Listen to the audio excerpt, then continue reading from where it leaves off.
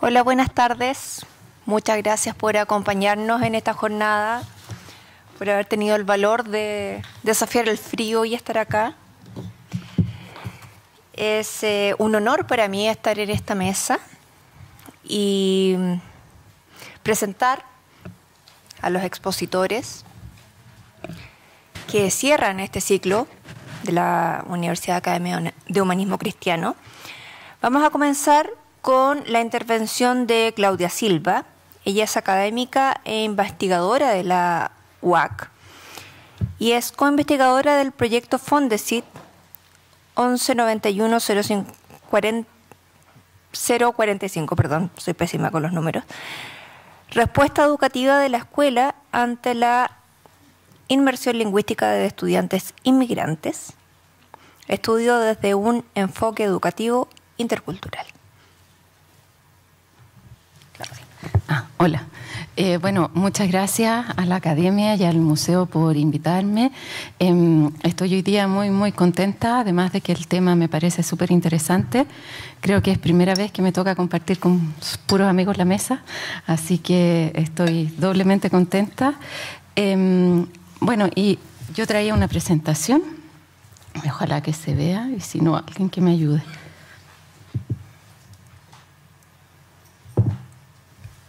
Eso. Bueno, no estaba yo muy creativa, así que mi presentación se llama igual que el seminario. Em, yo no soy especialista en temas de, racismo, yo soy asistente social y siempre me ha interesado el trabajo comunitario. Lo que hoy día quiero hablar con ustedes es cómo creo yo que debería enfrentarse el trabajo comunitario eh, hoy día en Chile, con la población en conjunto, trabajando todos juntos con la población migrante. Entonces, lo primero que quería mostrarles son esas fotos, son imágenes arriba, ustedes ven, es una exposición del Museo del Mar en Europa y es la barca de Lampedusa, donde ustedes ven todos los refugiados en el fondo del mar. Eh, luego ustedes ven la imagen de la frontera mexicana, que nos recuerda la imagen de Aylan Kurdi, pero que está mucho más cerca, es un padre con su hija. Y luego ustedes están viendo ahí lo que el gobierno ha establecido, que es el visto consular de turismo a la, a la, población venezolana. Abajo entonces el paso de Chacayuta, con la gente tratando de pasar y varada. Y al otro costado em, los vuelos de retorno humanitario a los ciudadanos haitianos. Em, como ya les dije, yo no soy especialista en racismo, pero al respecto quisiera decir que el racismo es una construcción, una construcción ficticia, una construcción simbólica que tiene que ver con la dominación y que no tiene un asidero en la realidad, pero que sin embargo, cuando existe, se hace carne en la vida de las personas. Y las personas que sufren racismo llegan a morir producto de este imaginario de colectivos dominantes sobre otro. Y entonces nosotros vemos que en general en los movimientos migratorios y hoy día con más fuerza se ha retomado el tema del racismo eh, de las formas más crudas, que son las fotos que ustedes están viendo ahí. Ese racismo repercute en que la gente se muere, se muere por millares y a nosotros pareciéramos... Eh, pareciéramos permanecer indiferentes al, respecto. Eh, y sin embargo, no todo extranjero de parte de los estados están mal vistos. No todas las políticas hacia los extranjeros son eso. Ahora les quiero mostrar una foto que son los extranjeros que aparecen como más lindos, ¿verdad? Entonces ahí ustedes ven que los estados hacen visas especiales para atraer inversionistas, eh, que en Chile se crean visas especiales, que en Chile crece la, se está llamando a que crezca la inversión extranjera. Hace un par de años a mí me tocó trabajar en el gobierno y y me tocó participar en una reunión de la OSD eh, de especialistas en migración de los países miembros y yo recuerdo que estábamos hablando de los flujos migratorios y los flujos asiáticos habían crecido bastante. Entonces alguien de la mesa pregunta si no se estaban poniendo trabas al flujo asiático que tanto crecía a los países desarrollados. Entonces otros de la mesa le contestan no porque ellos vienen con visa inversionista. Entonces alguien pregunta, bueno, ¿y ustedes saben de dónde sacan la plata? Podrían ser narcotraficantes, porque claro, vienen con mucha plata, pero no sabemos de dónde. Entonces le dijeron, no, la verdad es que nadie pregunta, ellos vienen con visa inversionista. Eh, eso es hoy día lo que pasa en los estados. Y la migración tiene que ver con eso, con que hay unos que sirven al modelo y unos que no sirven al modelo. Y eso no tiene que ver con las características de las personas, tiene que ver con lo que las clases dominantes y lo que el modelo exige para mantenerse. Entonces la invitación, como siempre, es que a través de la migración nosotros podemos abrir los ojos de dónde estamos, en qué sociedad vivimos. Es como, yo siempre digo, la migración de lo que más nos habla es de nosotros mismos, eh, de cómo nosotros somos capaces de recibir y cómo estamos entendiendo el mundo. Entonces hoy día, cuando vemos que eh, aparecen estas ideas de los retornos humanitarios o gente que, está llegando demasiado a Chile y que por lo tanto habría que restringir la mirada, la verdad es que no es eso. La verdad es que esa gente ya no se ve como útil al modelo. Supongo que ya dirán, necesitamos trabajadores que queden en estado de indefensión para que trabajen en bajo costo y por lo tanto nos convienen todas estas políticas. Y habiendo trabajado en el Estado un par de años, yo soy súper em, sospechosa de las... Eh, de las mentalidades políticas y de las lógicas políticas. Y no me parece raro que una vez que Guaidó ha, amainado su, su liderazgo, entonces ahora se le pida la visa a los venezolanos, ¿verdad? Ahora que ya no vamos a poder sacar provecho de esa alianza y probablemente de ese petróleo.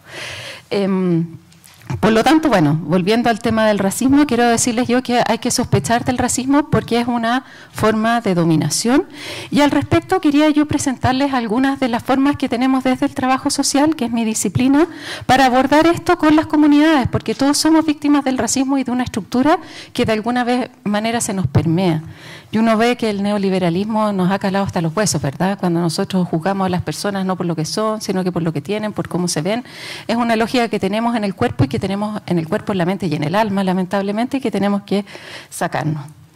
Em, bueno, desde mi disciplina, que es el trabajo social, hay toda una corriente que se llaman de las prácticas antiopresivas y que lo que plantean finalmente es que el orden social obedece a una estructura de poder donde la opresión se usa para desempoderar, marginalizar y, silenciar a ciertos grupos para poder mantener esta estructura que beneficia a unos pocos. ¿Ya? Es como una maquinaria establecida.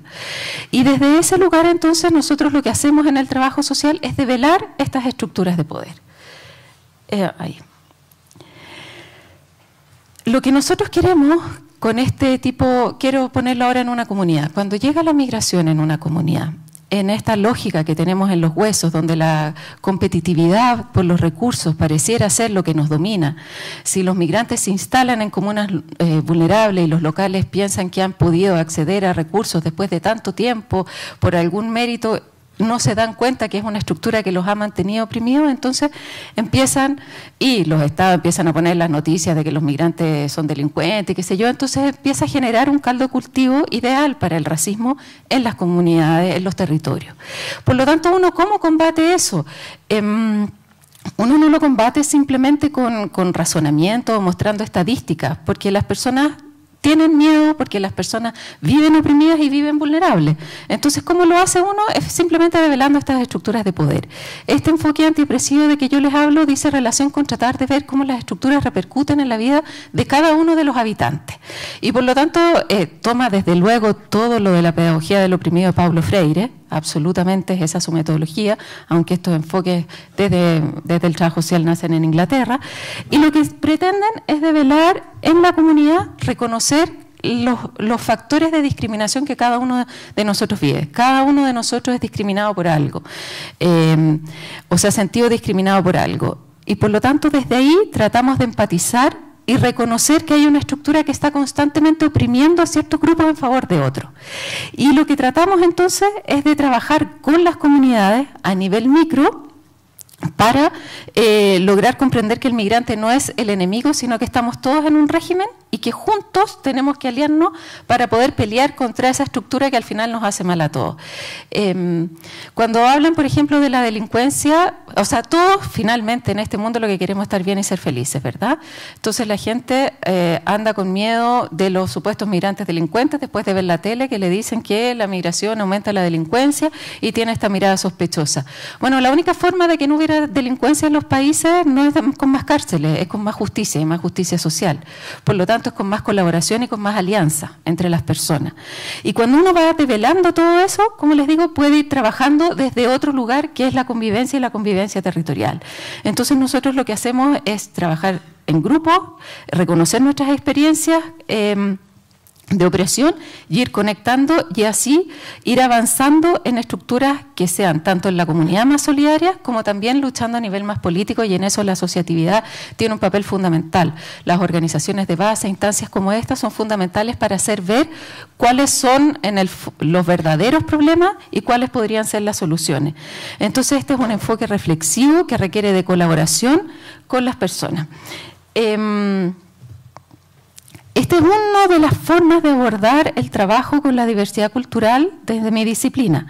Y existe otra corriente, que es la corriente que llaman multicultural o intercultural, que no tiene que ver tanto con una mirada estructural, sino que tiene que ver con los imaginarios de cómo nos vamos a comprender, cómo nos vamos a entender, cómo nos vamos a comunicar los unos con los otros.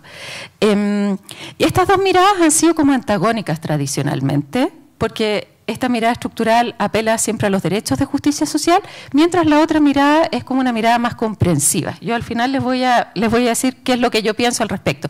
Pero se han planteado como antagónicos porque las posturas más estructurales y postestructurales dicen, bueno, si usted se, se fija tanto en la cosa cultural, deja de pelear por los derechos y invisibiliza la estructura de opresión que tenemos.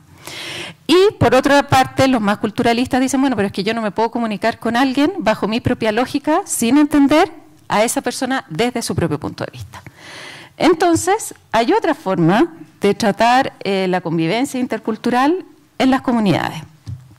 Bueno, aquí yo les citaba un texto que es de Oriana Guzmán, que dice, bueno, que ante la constatación de que la ignorancia y la falta de atención a la dimensión cultural de la intervención social, en este caso, puede generar prácticas racistas y discriminatorias, es que desde la tradición anglosajona se han desarrollado distintos enfoques para el trabajo social migrante. Uno es el estructural, que que ya les mostré, que tiene que ver con la práctica antiopresiva, la práctica antirracista, el trabajo social feminista o el trabajo social eh, con perspectiva de justicia social reparativa. El otro es un enfoque de pluralismo liberal, que es generalmente el que promueve el Estado, o los Estados en general, que dicen, bueno, claro, las personas eh, somos distintas, pero todos tenemos eh, en el fondo las mismas capacidades y por lo tanto eh, vamos a dar a todos el trato igual y que tienden entonces a la asimilación, ¿verdad? Es como decir, sí, reconocemos que hay una cierta diferencia, pero no prestamos suficiente atención a esa diferencia porque reconocemos que en esta sociedad hay una cultura dominante. Y la tercera que es la que les quiero presentar un poco más, es el pluralismo cultural, y aquí hay distintos enfoques, y que lo que plantea es que la realidad como tal no existe. Toda nuestra realidad es construida simbólicamente. Esa silla que ustedes ven ahí es una silla porque ustedes simbólicamente la construyen como silla, pero si llegara un marciano y mirara una silla no tendría por qué entender que sirve para sentarse y para que nosotros estemos en esta sala. Y por lo tanto, eh, si toda la realidad es construida, se puede construir desde distintos lugares y las distintas culturas hemos construido desde distintos lugares y damos distintas significaciones a los hechos.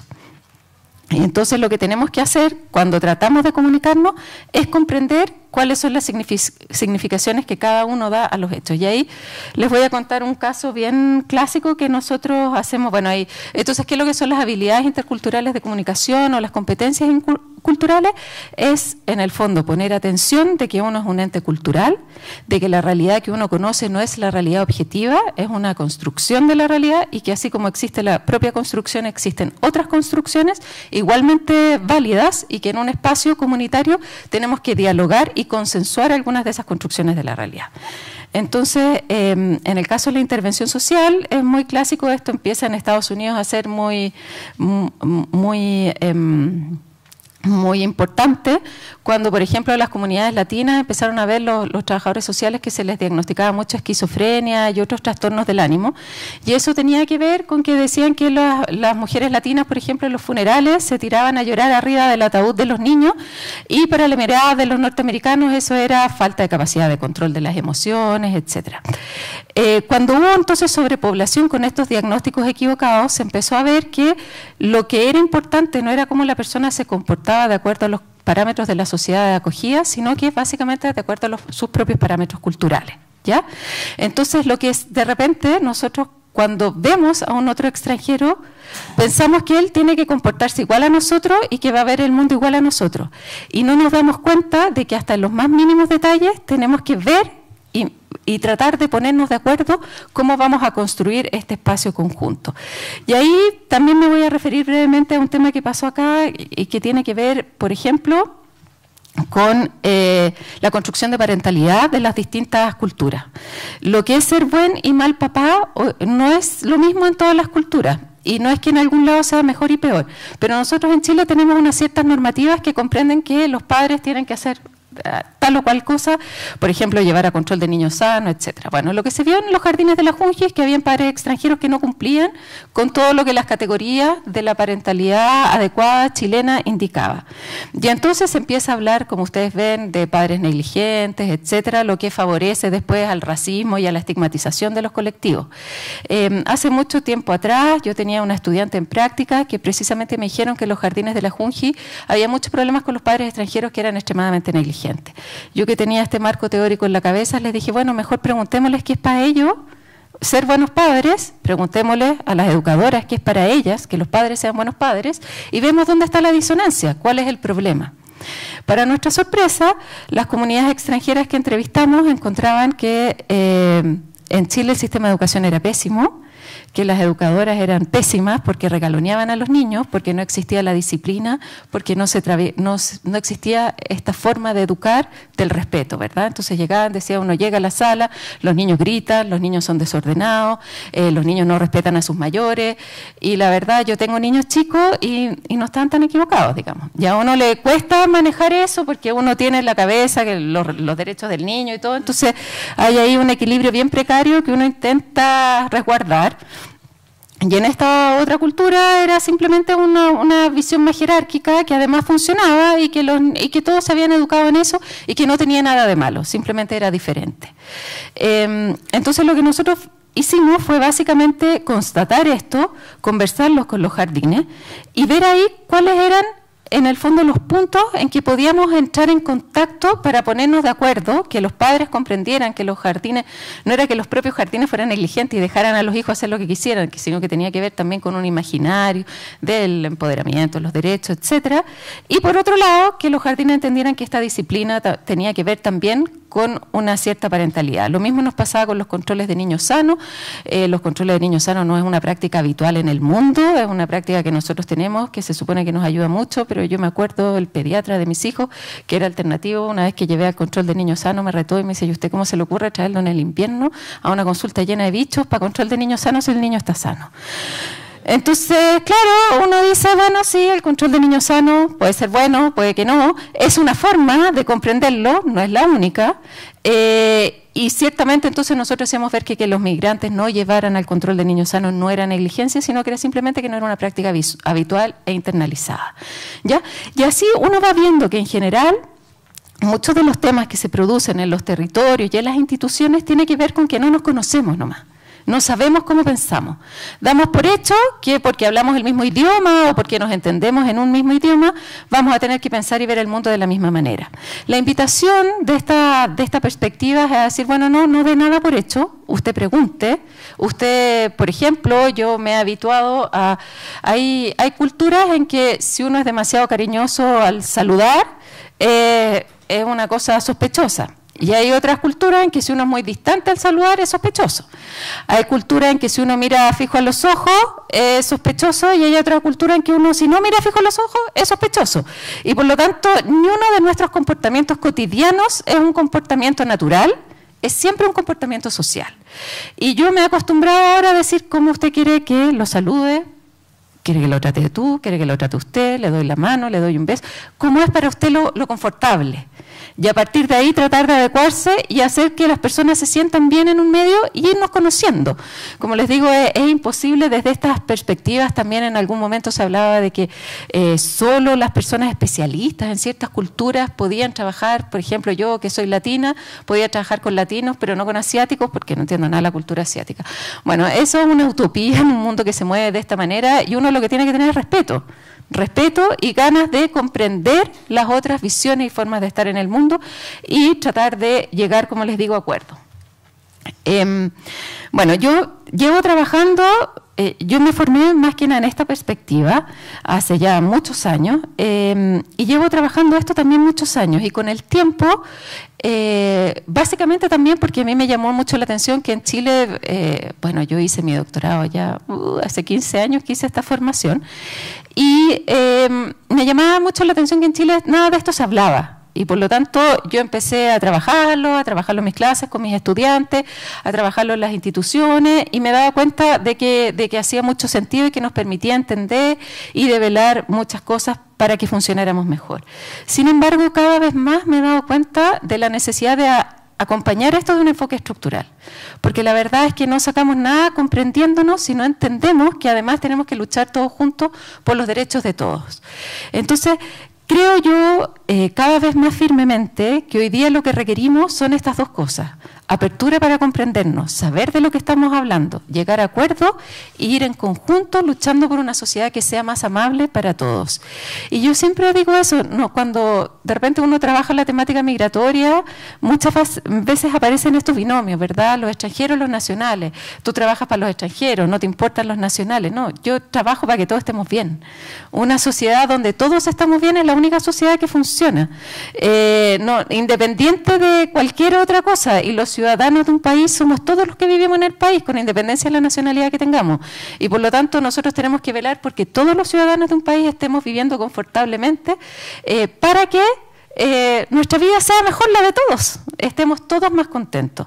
Em, y en ese sentido, insisto, la mirada estructural nos permite ver que eso que es tan eh, de lógica común, ¿verdad?, nos permanece invisibilizado porque tenemos metidas otras lógicas que son serviles a un sistema que no es bueno para ninguno de nosotros. Eso, muchas gracias.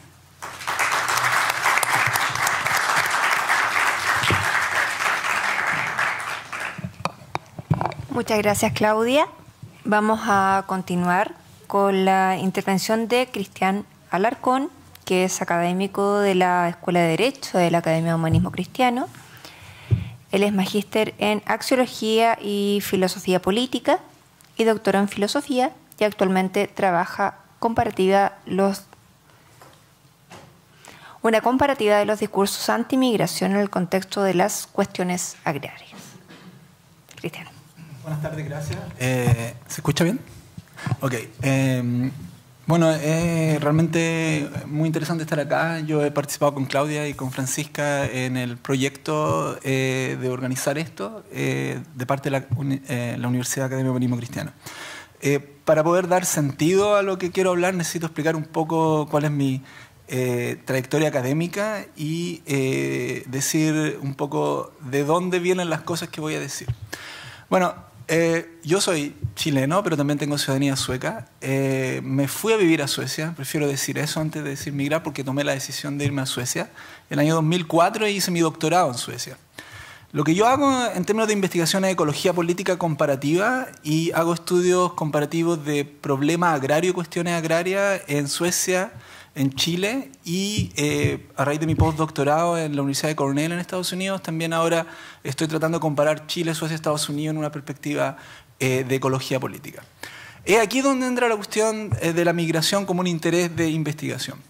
Y lo que quiero conversar hoy día, entendiendo que es un conversatorio, es a partir de un estudio que estoy ahora proponiendo en parte en un artículo sobre la relación entre racismo, cuestiones agrarias en el contexto de Suecia. ¿okay? Eh, me parece que es importante tener una perspectiva global a la realidad chilena. Eh, el caso sueco es a esta altura un caso de estudio global respecto al surgimiento o resurgimiento de movimientos de extrema derecha, pero que tenemos que avanzar mucho más en la conceptualización de qué tipo de extrema derecha estamos hablando. Eh, y el caso sueco también eh, era hasta un tiempo una especie de excepcionalismo en el contexto europeo, donde se entendía que a pesar del crecimiento en algunas partes de Europa de estos discursos anti-inmigrantes, racistas, nazis o neonazis, eh, Suecia se mantenía un poco en un nivel de excepcionalidad, hasta hace poco. Voy a dar algunas cifras que nos muestran por qué eso. Eh, y esto yo creo que nos lleva a pensar muchas cosas porque luego al final quiero hacer algunas conexiones con, al menos como yo veo, eh, la relación entre migración y racismo en Chile. Em, creo que pensar en Suecia también tiene más relevancia hoy en día, incluso por el hecho que, como sabemos, lo anunció la prensa ayer, en Dinamarca eh, la socialdemocracia nuevamente recupera eh, el, el, cargo de primer ministro pero con un cambio fundamental en el discurso eh, de la socialdemocracia en Dinamarca. Y este cambio tiene derechamente que ver con la aceptación de alguna retórica, discursividad, pero también política respecto de la inmigración en Dinamarca. Por lo tanto, creo que es re importante que nosotros tratamos de entender lo que sucede en estos países. Ahora entro un poco más al tema, tratando también de traer algunas cuestiones conceptuales, analíticas, antes de pasar a una normatividad política que eh, nos lleve a pensar mejor, creo, cómo nosotros podríamos eh, tirar algunas líneas de oposición a los discursos racistas, pero también al racismo del día a día y al racismo estructural. Bueno, el año 2010, el Partido de los Demócratas Suecos, un partido con base en el nazismo sueco, con un discurso claramente antirracista, pero de un antirracismo, perdón, anti-inmigrantes, pero con una anti-inmigración en términos discursivos bastante selectiva que voy a explicar después. Bueno, este partido el 2010 obtuvo el 6% de los votos a nivel nacional. El 2014 obtuvo el 13% de los votos, el año 2018, en las últimas elecciones, el 17,5% de los votos. Con un 17,5% de, los, 17 de los votos en el sistema electoral y político sueco, el partido se transformó en el partido que hace el balance vale decir, generó un caos político y tomaron meses antes de que se pudiera formar una coalición que gobernara Suecia. Ese es el poder que tiene hoy en día este partido de extrema derecha. Ahora, el 17,5% obtenido a nivel nacional es casi nada si uno lo compara con el 28% de los votos que este mismo partido obtuvo en un área rural que queda a 40 minutos de la famosa ciudad universitaria de Uppsala, donde obviamente obtuvo menos votos. Estamos hablando de 40 kilómetros de distancia, pero con un movimiento político masivo. Conozco bien el área, paso todos mis veranos cuando vivo en Suecia en esta área, y si uno compara este 28% con el 19% de los votos que este partido obtuvo el 2014, estamos hablando de un incremento impactante en la localidad. Cuando se genera este resultado electoral, la prensa local va al área, hacen entrevistas, hay conmoción en la ciudad liberal de Uppsala, eh, porque muy cerca el partido está obteniendo tantos votos. Una persona que habita el lugar en una entrevista dice, no queremos inmigrante acá, es simplemente eso. Es un área rural donde se reflejan todas las contradicciones de lo que uno puede entender como la cuestión agraria en Suecia. Poca gente vive en la zona, los jóvenes se van de la zona, colegios se tienen que cerrar, hospitales también. Y todo el discurso oficial dice que se necesita gente que viva en esa zona. Aún así, para mucha gente, aceptar inmigrante, migrante en esta zona, es un problema. Hay que asumirlo. El discurso de este partido ha sido especialmente em, penetrante en las zonas rurales de Suecia, lo cual nos lleva a una cuestión global. Para muchos hoy en día, una de las cuestiones que tenemos que entender mejor es cómo se relaciona la relación eh, problemas agrarios, situaciones en el campo y el surgimiento de movimientos racistas. Esta no es una cuestión nueva, históricamente se podría decir que existe una relación entre cómo comunidades habitantes en las zonas rurales se envuelven en discursos anti-inmigrantes. Ahora, esto tiene varias dimensiones que vamos a tratar de tomar algunas de ellas. Cuando yo hacía entrevistas en el campo de Suecia, muchos eh, dueños de bosques me decían que sí, necesitaban algún tipo de mano de obra, pero que también era muy difícil tener mano de obra con inmigrantes, porque la tecnología que usan en el campo sueco simplemente significaría que estos inmigrantes que llegan con pocas calificaciones necesitarían muchos años de trabajo y entrenamiento para poder trabajar en el campo sueco. Por tanto, es una combinación perfecta entre una grave crisis en términos de población en el campo sueco, imposibilidad de generar fuentes de trabajo para los migrantes y un partido que ha hecho del campo sueco una especie de campo fértil para su discurso anti-inmigrante. Pero es un discurso bastante selectivo porque de hecho eh, yo conozco personalmente gente que vota por este partido. En mi vida social he estado en reuniones donde gente me ha dicho, sí, yo quiero votar por este partido. Y sin embargo han estado hablando conmigo en una misma mesa en un asado. Y yo he dicho, pero yo también soy un inmigrante. Llegué acá. Sí, pero tú hablas sueco, tú trabajas en la universidad y tú, bueno, no eres como los otros inmigrantes, ¿ok? ¿Quiénes son los inmigrantes que más causan, eh, en definitiva, o le dan a este partido las bases para lograr su apoyo? Los nuevos inmigrantes que vienen de países, por ejemplo, eh, de las recientes crisis y guerras, los inmigrantes que están llegando como em, buscando asilo, y bueno, la explosión que se generó en los últimos años en Suecia, que es real. Ante lo cual, este discurso que usa una estrategia populista, más que ser un partido populista, usa una estrategia populista que voy a explicar después, cómo funciona en la práctica, ha encontrado además que discursivamente es muy simple hacer un argumento contra estos nuevos inmigrantes. No podemos recibir a todos los inmigrantes porque no podemos eh, darle lo que tal vez necesitan. Ante lo cual, mucho discurso de izquierda no tiene mucho que decir, porque efectivamente el discurso de este partido es tan simple que básicamente genera una especie de problema discursivo. ¿Qué decir ante ese contexto? Por lo tanto, ahí tenemos una cuestión que yo creo que es muy importante discutir.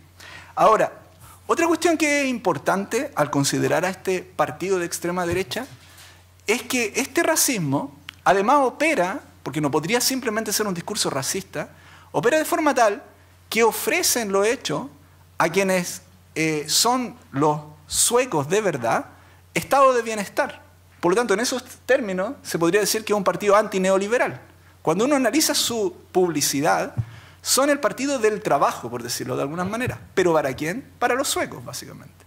Por lo tanto, eso es lo que pasó efectivamente ahora en Dinamarca, donde el Partido Socialdemócrata de Dinamarca, para captar electores de la base, si lo llamamos en estos términos, clase obrera danesa, tuvo que entrar a básicamente comprometer el discurso que dice relación con oponerse a la inmigración. Por lo tanto, esta es una de las cuestiones, yo creo, más eh, importantes de considerar en un contexto también como el chileno, donde básicamente lo que nosotros podemos ver, creo yo, para adelantar un comentario, y yo lo vi cuando trabajaba como abogado eh, laboralista, cuando regresé a Chile en el año 2015, eh, retomé mi trabajo como abogado laboralista, donde efectivamente en aquel tipo de trabajo más precarizado, eh, en aquel tipo de trabajo que necesita en el mercado laboral competir más con aquellos migrantes que vienen de Haití, de Colombia, yo vi en el día a día que muchos trabajadores culpaban a sus problemas de básicamente explotación la presencia de trabajadores que venían de otros países a competir. Esto es lo mismo que pasa, por ejemplo, en Inglaterra, donde hay un estudio que muestra que en muchos sectores de la clase obrera hay mucha aceptación a la migración, pero en sectores de aquellos que tienen los trabajos más precarios o más dañados por la reciente crisis económica, como también el caso Suecia, hay mucho mayor germen, si lo llamamos en esos términos, para el desarrollo de un discurso de tipo racista anti-migración. Volvamos al caso sueco. ¿Cómo puede ser que en el campo, en donde se necesita una población que llegue, hacerse cargo incluso de los hospitales o hacerse cargo de tareas básicas en el campo, aún así muchas personas voten por un partido que básicamente se está oponiendo hoy día a la llegada de estos nuevos migrantes.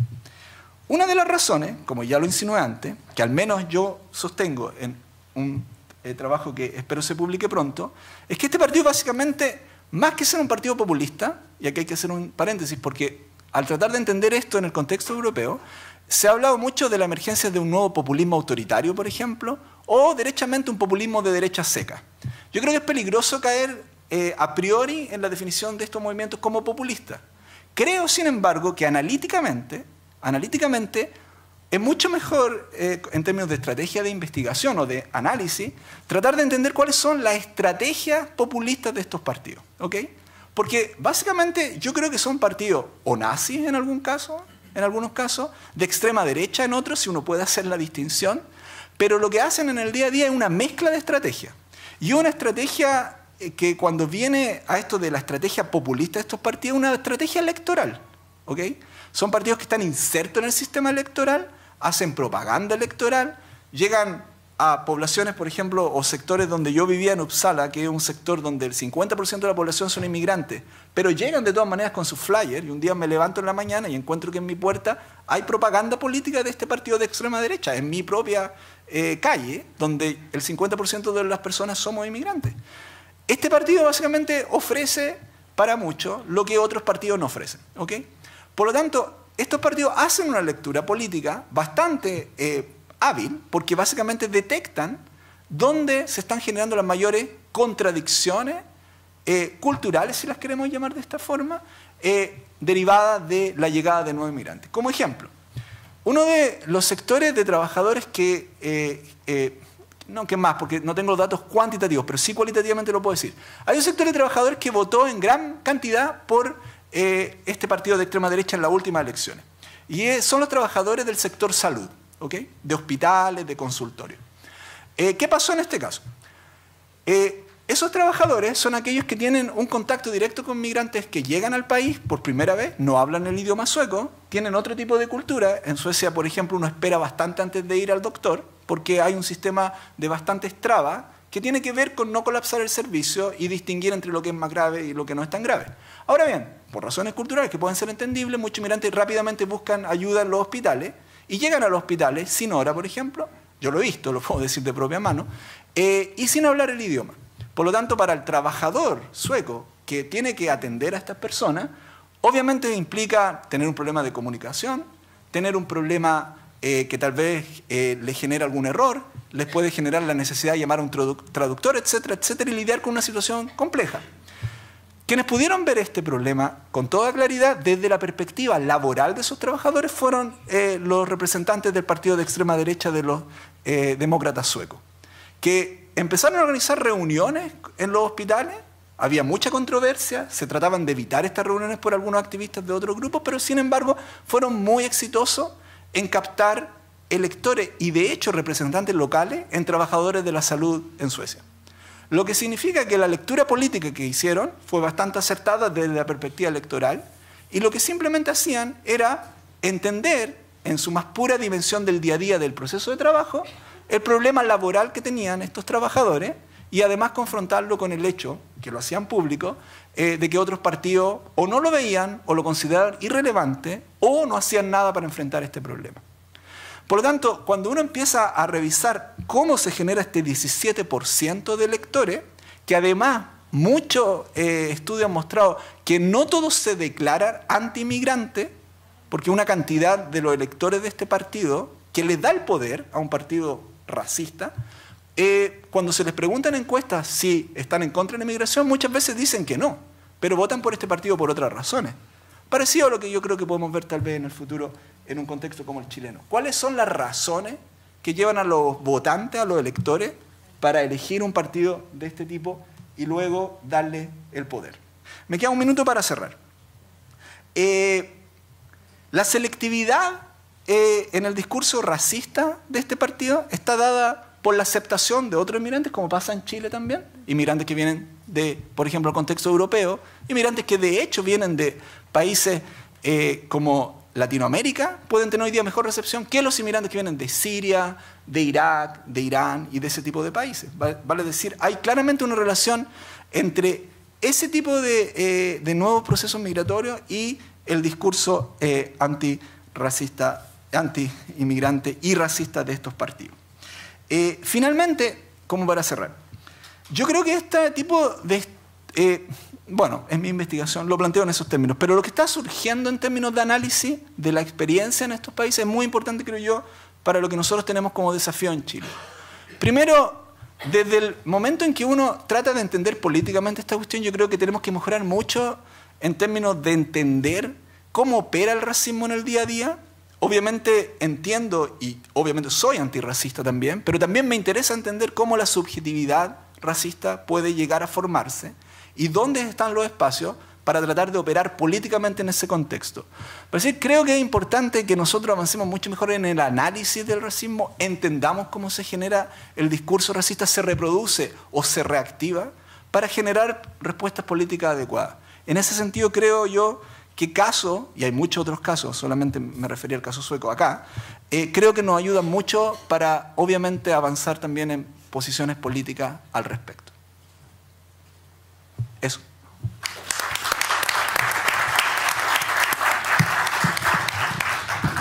Muchas gracias, Cristian.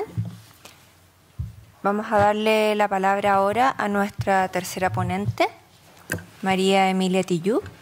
Ella es doctora en Sociología y coordinadora de la Cátedra Racismos y Migraciones Contemporáneas en la Universidad de Chile. Bueno, buenas noches. Muchas gracias por la invitación. Eh, también eh, decir muy brevemente, antes de, hablar, que lo que voy a decir proviene de varias investigaciones, son como flashes, ¿no? de varias investigaciones realizadas en años anteriores y actualmente un proyecto Anillo sobre la construcción del sujeto migrante, un proyecto FONIS. Estamos trabajando en los centros de salud de Quilicura y también los agradecimientos al hecho de formar parte del movimiento de acción migrante de la Red Nacional Migrante. Lo digo porque en realidad es gracias al trabajo con mis colegas eh, de distintos países y comunidades que han llegado a Chile que he podido comprender aquello que no podía comprender antes y una de las cosas que no podía comprender o no podía saber era el racismo que estaba alojado en mí. Por lo tanto, voy a partir diciendo que efectivamente las razas no existen, que cada vez o con el cuidado de hablar de razas hay que por lo menos colocarlas entre comillas no existen porque está absolutamente demostrado científicamente, sin embargo, son un gran marcador sobre la cual eh, el racismo se aloja. No existen las razas, pero existe el racismo.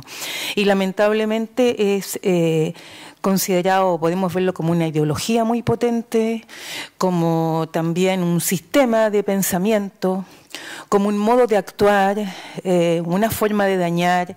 Y hablar de racismo también implica, tomando lo que el colega ha dicho acá, vincularlo, obviamente, al fascismo. ¿no? Es muy difícil eh, separarlo uno de otro y la prueba está lo que ha pasado, digamos, sobre todo después de la Segunda Guerra Mundial, durante la Segunda Guerra Mundial y lo que está pasando hoy día. Eh, vincular migración a racismo no tendría por qué ser, son, son dos cuestiones completamente distintas.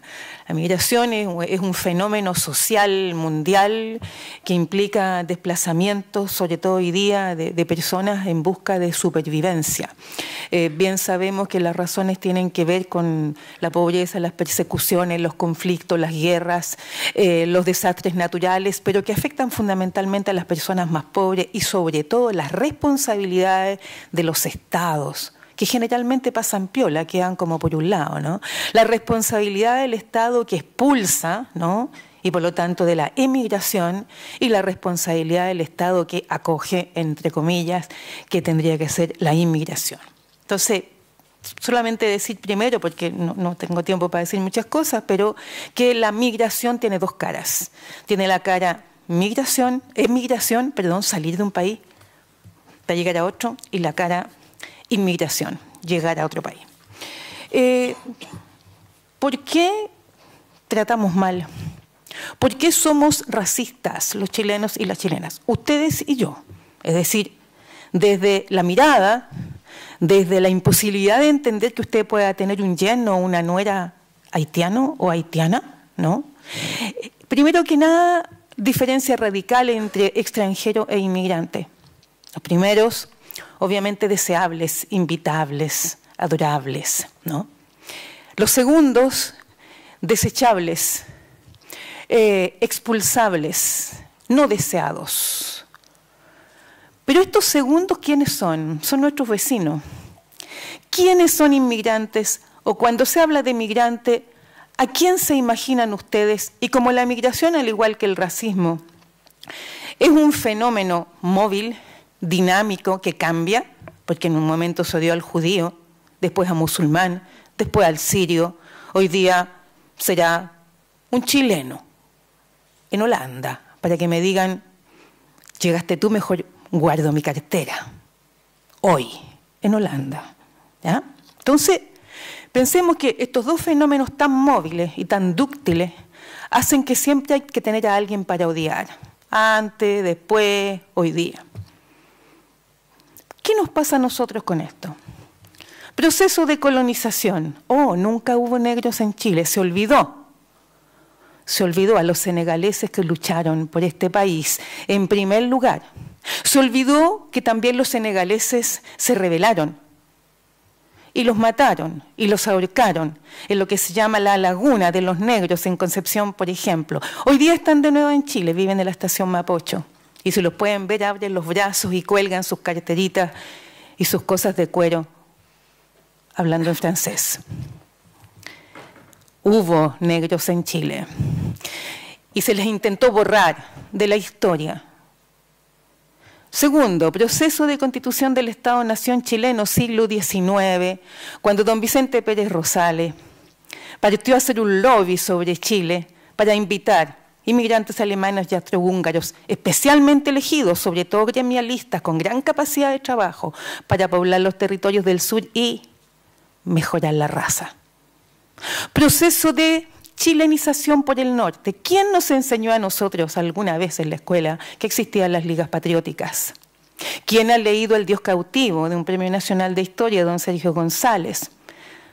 Para saber que había que borrar todo rastro de peruano y boliviano por el norte. Proceso de pacificación de la Araucanía. Proceso tras proceso tras proceso construye al racismo en Chile. No porque hayan llegado migrantes hoy día, sino porque somos racistas desde antes. Porque nos permitimos decir que no se nos paró la pluma que nos dio la indiada, ¿no? Para mirar del peor modo. Obviamente, a nuestros pueblos indígenas. Entonces, evidentemente, con todos estos procesos alojados en una estructuración histórica, ¿no? Estamos hablando de Chile por ahora, acompañada además de la antropología, de la antropología europea, que también llegó acá, porque además nuestra gente iba a estudiar allá, sobre todo aquellos que tenían los medios, ¿no? Y volvían con esta antropología europea que suponía que había gente superior y otra inferior. Ese es el racismo, suponer que hay unos superiores y otros inferiores. Desde el momento que estamos hablando del otro, estamos siendo racistas. Desde el momento que estamos diciendo que hay diferencias y que las respetemos, estamos siendo racistas. Y desde el momento que estamos diciendo que somos antirracistas, somos racistas. Porque el día que veamos al otro como un igual, no vamos a decir que necesitamos establecer diferencias ni ser antirracistas. El problema es complejo, es largo de hablar. Pienso, por ejemplo, en un texto muy importante traducido en casi todos los idiomas del mundo del señor Charles de Gobineau que se llama La desigualdad de las razas, la desigualdad de las razas humanas, donde él asegura que las razas humanas son desiguales. Ese libro, un libro muy famoso, un libro muy malo además porque no tiene ninguna razón científica que lo sostenga, es respondido por otro libro que se llama De la igualdad de las razas humanas. Yo no sé si alguno de ustedes habrá leído a un gran, intelectual llamado Antenor Firmin. Ese intelectual es un intelectual haitiano que le respondió antropológicamente punto por punto a de Gobineau para decirle que estaba equivocado. La única traducción al español está en Cuba, la pueden encontrar porque está en internet. Antenor Firmin. Aprovecho de decir esto porque sí, hay inmigrantes hoy día en Chile. Tienen más años de estudios que nosotros. Hablan muchas más lenguas que nosotros. Tienen su modo de ser como el modo de ser de nosotros. El problema no es solamente diferencia cultural. Son historias distintas. ¿Alguien sabe también lo que implica la independencia de Haití? ¿Cómo se celebra el Día de la Bandera de Haití? ¿Qué implicó la liberación de la esclavitud? Bueno, podríamos hablar horas de esos, o la riqueza colombiana, o las riquezas bolivianas, o las riquezas peruanas, a esos países donde, por ejemplo, República Dominicana, allí vamos de vacaciones. Estudios hechos por nuestros estudiantes muestran, muestran por qué van chilenos y chilenas de vacaciones a los países del Caribe.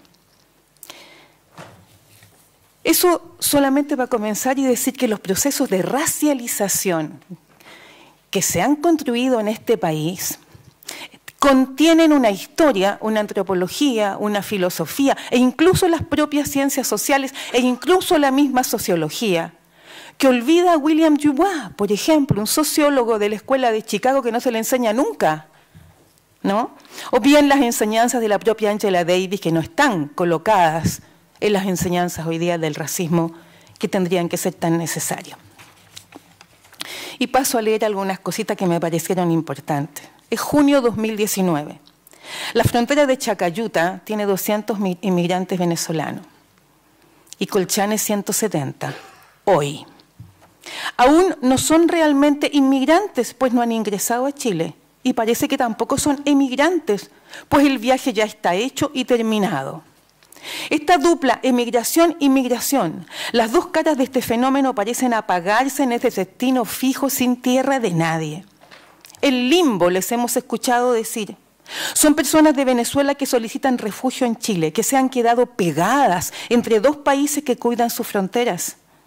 La visa consular de turista debe ser presentada, una visa imposible de conseguir.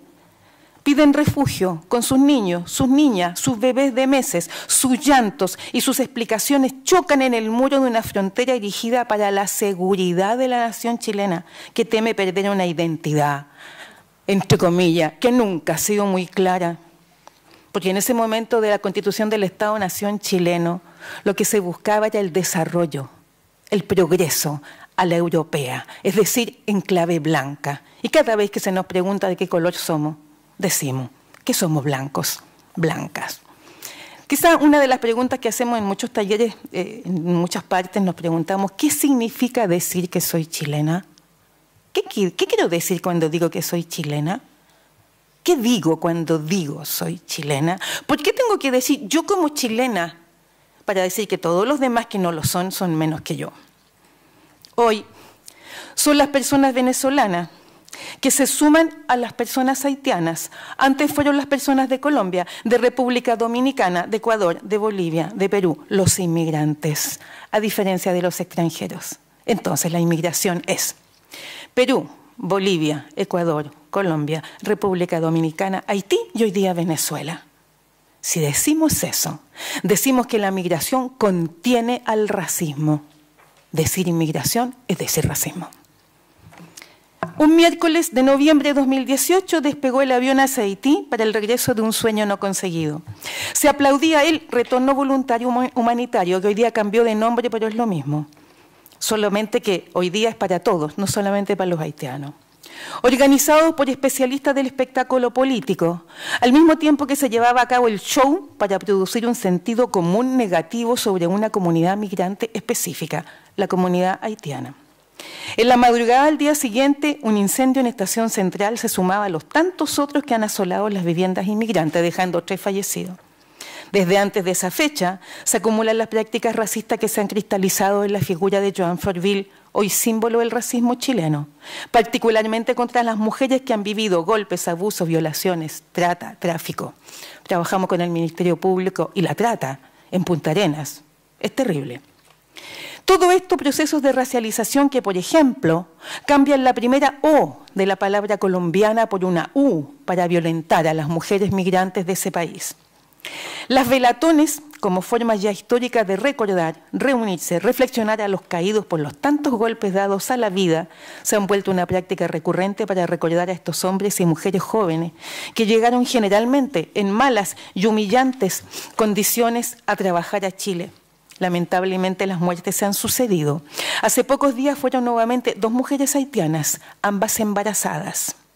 Es probable, si seguimos metidos en tanta indiferencia, que tal como le sucedió a Joan Forville cuando asistió a la velantón de Benito, que murió por hipotermia, quien asista de nuevo se pregunta si será o no el próximo a morir en Chile. Somos testigos, sí, de un escenario mundial donde cotidianamente transcurren hechos racistas y xenófobos. El, individualismo profundo que nos corroe, como uno de los tantos productos de la astucia neoliberal, ciega al punto de no pensar que un día nosotros, nuestros hijos, nuestros nietos o las generaciones que no conoceremos podrían convertirse en migrantes. Es decir, tener que partir de Chile obligadamente como el inmigrante que nadie espera para convertirse en el inmigrante no deseado que pierde el nombre al ser llamado por su nacionalidad convertida en estereotipo. Fíjense cuando sea inmigrante colombiano, tiene nombre, apellido, historia, nunca más se le nombra de ese modo.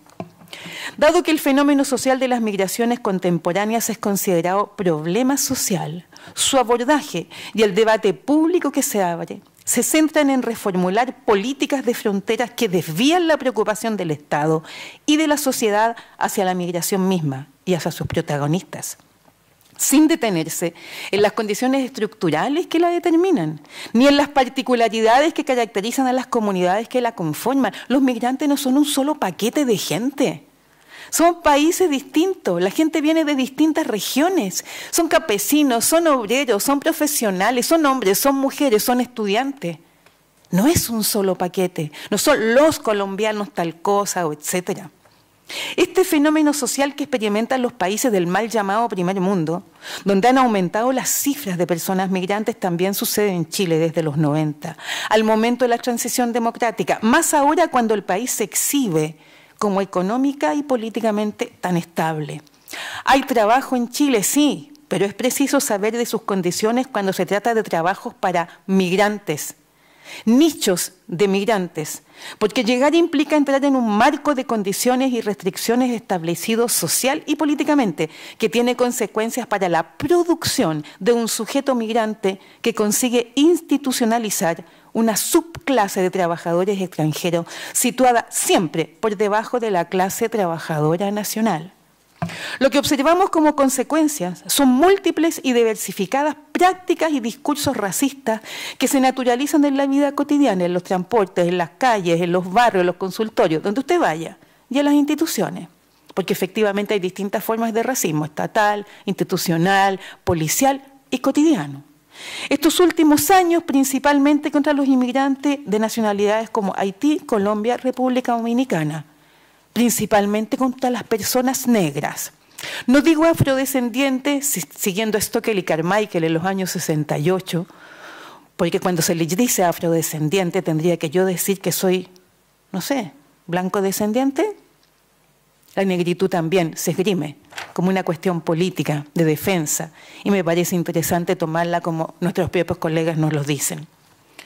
Son prácticas de violencia explícita e implícita que hay que examinar desde las relaciones sociales y las interacciones más cotidianas, porque al estabilizarse como formas sociales, crean, como diría Simmel, estructuras de diferenciación socializadora que identifican contenidos que producen a un otro, a ese que tantas veces nombramos como hay que entender a un otro, ¿no? que se repite y dura hasta institucionalizarse y hacerse algo así como normal. El racismo es constante en su forma, siempre es constante en su forma, es flexible sus fronteras, se mueve según las necesidades del momento. Por eso, más que un acto cotidiano que nos preocupa y que se deja ver en la sumatoria de muertes, abandono, debemos buscarlo en su origen. En una formación histórica estructural que adquiere diversas formas, que mantiene componentes que se pueden modificar, presentando dimensiones que lo hacen plural, y en aquella ideología que desde una lógica universalista, porque allí está el problema también, justifica y legitima la dominación. Es como si uno se fuera de nuevo a buscar la empresa esclavista. La empresa de la esclavitud fue una empresa capitalista. Se trataba de, capturar y de raptar gente para ganar plata. Eso fue la empresa del colonialismo. Pensemos, sin embargo, en lo que ocurre en Chile, lo que conduce a ser racista hoy. La inseguridad de la vida por la situación económica es fraguada también al calor del temor construido en dictadura, no nos olvidemos, como la impunidad hoy generalizada y naturalizada. ¿A quién le importa que se muera, se muera un bebé venezolano en Chacayuta? A nadie. No ha ido la UNICEF a preocuparse de eso. E incluso las instituciones cristianas que hoy día están haciendo llamado piden que se siga la legalidad del gobierno actual que se le respete. Eso se está diciendo hoy día con respecto a lo que está ocurriendo en la frontera. Por lo tanto, esta impunidad va acompañada de la incertidumbre también, de un porvenir dado cada vez más a corto plazo, observable en el día a día, donde la obligación de existir para mostrar lo mejor de sí, ¿no? responder de mejor modo al trabajo, relacionarse con el mundo de manera cínica, competir a niveles extremos temiendo a un futuro forjado en las desigualdades confina la existencia del trabajador chileno, ¿no? que es algo que usted también señalaba, a un rincón de confianza que se reduce cada vez más porque parece que estuviésemos siempre frente a un nuevo peligro. ¿Peligro de qué? Peligro de algo, de algo que no es claro, pero que permite por lo borroso de su presencia que desconfiemos siempre y que nos detengamos a buscar un enemigo. Este temor a lo que viene es captado por los especialistas del marketing técnico-político al servicio de quien contrata para producir un sentido común político. El algo debe tener un alguien que será el responsable de nuestras desgracias individuales. Podría ser un delincuente, un invasor, un robo a trabajos, una roba a maridos, un ser peligroso que aunque jamás hayamos visto, parece atrapar, molestar, complicar nuestra calmada vida nacional. también ha sido antes otro enemigo, el poblador, el marginal, el terrorista, el comunista, el pobre o el trans. Son figuras inventadas para odiar que luego deben ser reconocidas. Así funciona el estereotipo, cuando ha sido bien armado. Como una idea puesta en la cabeza, no como una realidad, pero que se engancha en un alguien específico. Esta idea se localiza ahora en el inmigrante, cada vez más hoy reducido a una nacionalidad y a un color de piel. Un inmigrante que separamos del extranjero. Este ejercicio es fundamental, que sí se busca conocer, como lo decía recién, porque tenemos que seguir la ruta de este desarrollo buscado en clave blanca. Hay que engancharse a este europeo o a este norteamericano o a este extranjero al que sí podemos invitar a nuestras casas. Las fronteras de lo nuestro, como si fuera realmente propio, lo nuestro, no sé qué tenemos de nuestro, en tanto chileno, o sea, verdadero porque es nacional, produce la ceguera que hoy nos afecta.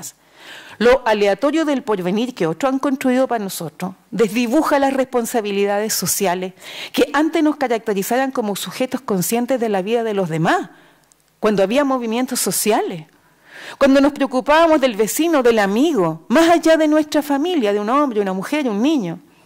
Tratamos entonces de vivir en este rincón nacional que nos asegure que algunos iguales como nosotros, en una correspondencia universalista que nos supone similares, nos van a defender de ese algo, que es el alguien que viene de afuera como inmigrante y que sin embargo no es un desconocido, porque visitamos sus países.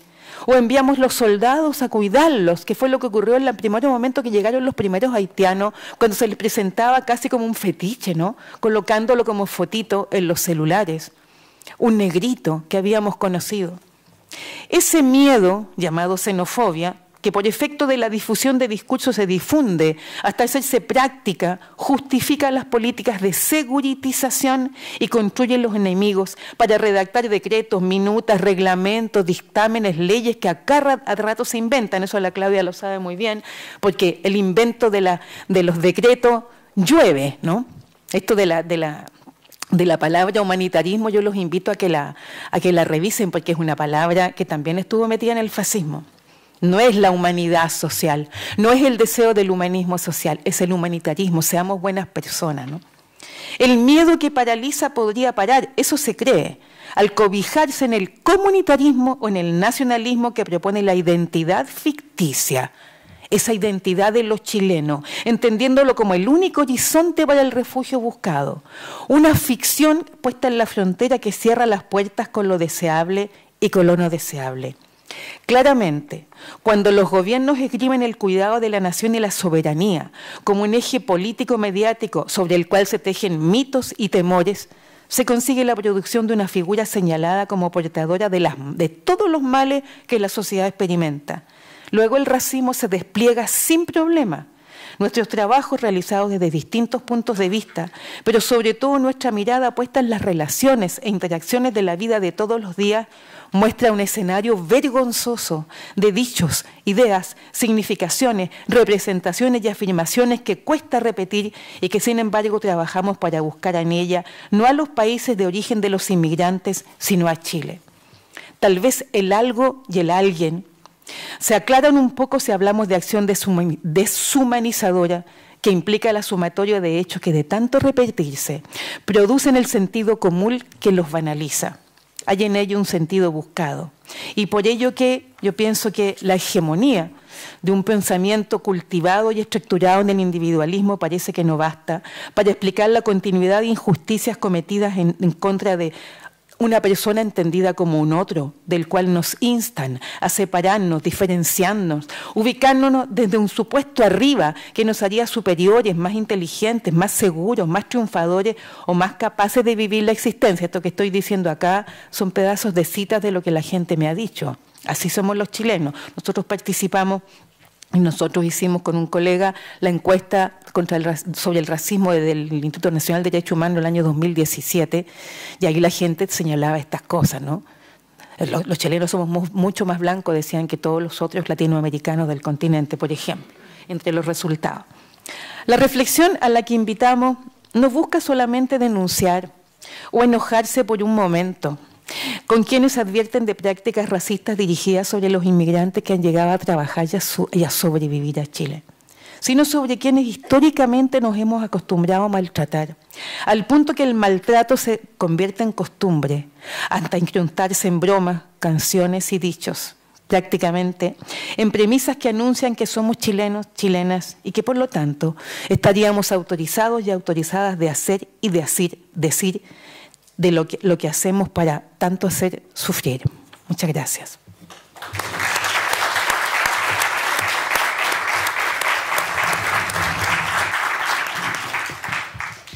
Muchas gracias, María Emilia. Eh, no sé cuánto tiempo tenemos para preguntas y qué sé yo, pero yo quisiera hacer una suerte de abuso de mi posición para plantear dos temas de discusión. Eh, uno, eh, parafraseando a María Emilia, el tema es complejo y largo de hablar. Entonces hay dos cosas que me llaman muchísimo la atención para ramificar esta discusión, que no la vamos a concluir aquí, ciertamente. Uy, gracias. Una de ellas es eh, esta relación íntima y simbiótica que se establece entre el racismo y el clasismo. Y la segunda es qué pasa con esta suerte de racismo, por llamarlo de alguna forma, en segundo grado. Por poner un ejemplo, ¿qué pasa con nosotros los chilenos blanquitos que estamos en España, por ejemplo? Somos inmigrantes en España. Y desde allí tenemos una, o miramos desde una postura por arriba del hombro, muy racista, a los eh, africanos, a los marroquíes, por ejemplo.